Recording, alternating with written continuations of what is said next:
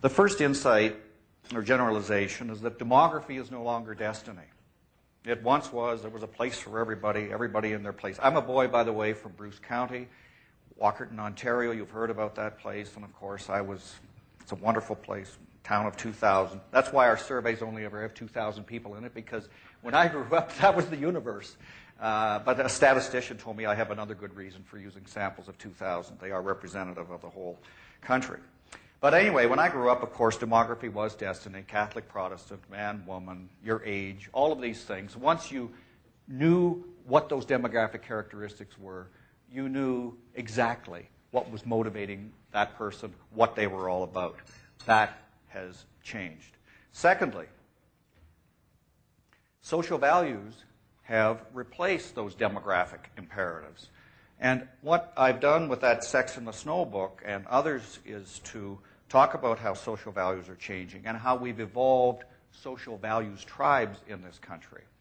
And uh, you can get elders who are rational traditionalists, they produce baby boomers who are autonomous rebels, who can produce children who are new Aquarians and aimless dependents, all in the same family. The idea that you and your spouse, you and your kids, you and your parents have the same values, no, you're often going to find that within a family, within a very close knit unit, in fact, people can have very different motivations. I know in the case of some parents, they say, okay, okay, we got our daughter launched. Now, now our son, you know, that aimless dependent, did you drop him and didn't tell me?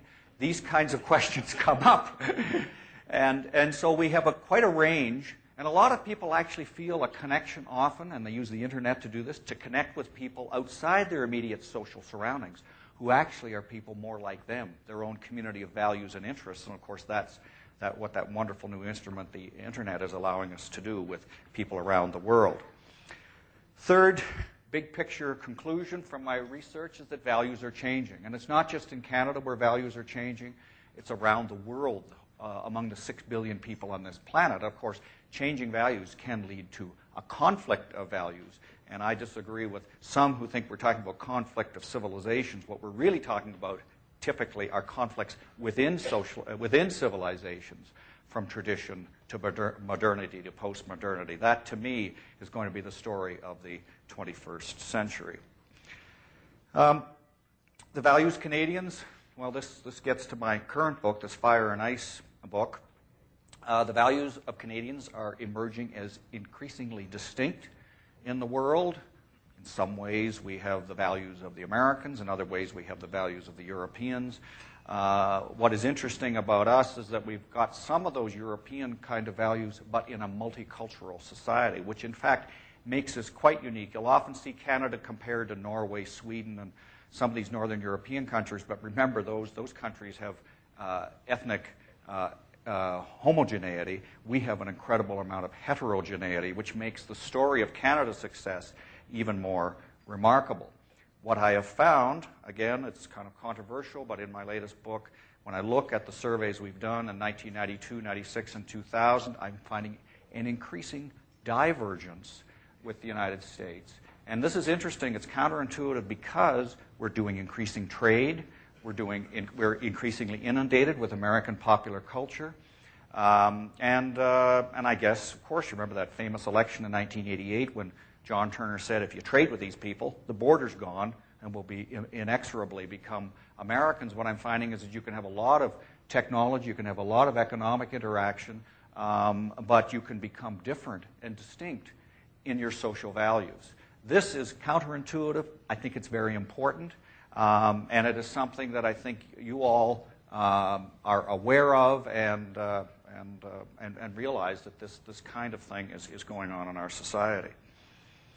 Um, and finally, Canadians have evolved, and I guess this is my big picture about social change in Canada, from deference to institutional elites. Of course, the way we put the country together was deferring to the boys getting together um, uh, you know, a subsidy for this one, a railroad for that one. They gave us our country, and most of us didn't even know what they were doing. That's kind of the way it was. We are characterized as the counter revolutionaries. We didn't join the American colonies who were in revolt. We decided to stay under the crown. We decided that the church would have a very important role, uh, in particular in Quebec.